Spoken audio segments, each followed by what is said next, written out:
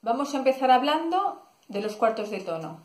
Se dieron cuenta que al escuchar músicas eh, de otros países orientales, que la interválica que conocemos de tono y semitono, pues que resulta que había una más pequeña, eh, que se podía llegar al cuarto de tono.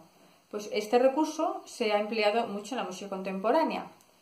Vamos a, ver un ejemplo de, trabajándolo con la nota Mi del registro medio. Aquí os dejo eh, unas eh, digitaciones.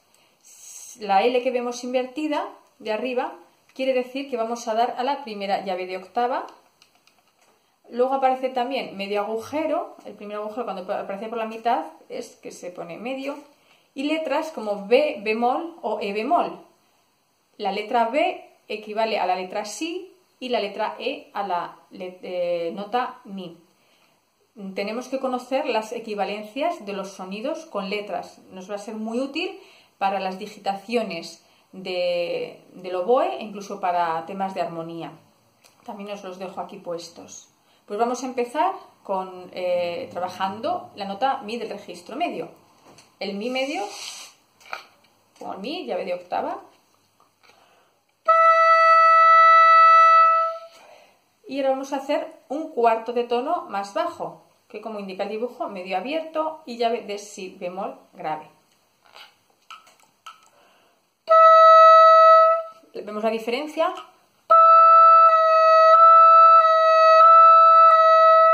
Se aprecia y ahora la diferencia más grave. Y vamos a hacer ahora el eh, cuarto de tono más agudo, que es la posición de mi registro medio, y le añadimos la llave de mi bemol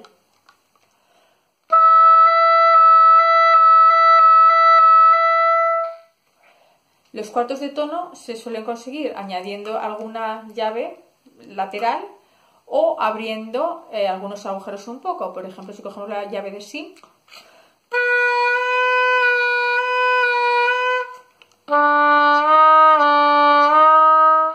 se pueden conseguir cuartos de tono. Entonces se necesitaban grafías nuevas para indicar ese cuarto de tono o tres cuartos de tono. Ya no solo se tenía el sostenido o el bemol. Y aquí os dejo también las grafías nuevas.